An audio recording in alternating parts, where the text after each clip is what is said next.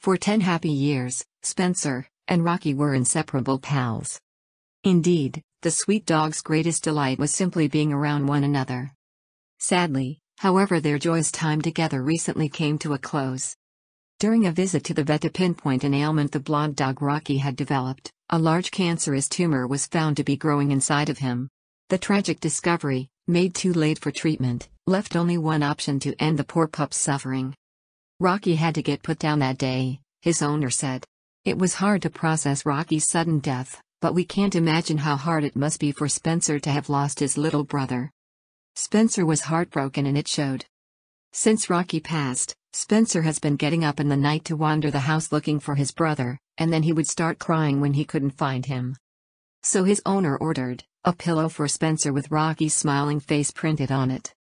Right away, the thoughtful gift put Spencer at ease. The pillow honoring Rocky seems to have helped fill the void his passing had left in Spencer's heart. Spencer began cuddling into the pillow at all times, carrying it from the sofa to his own bed. No more sleepless nights alone for the Spencer, the pillow has filled the void in his heart.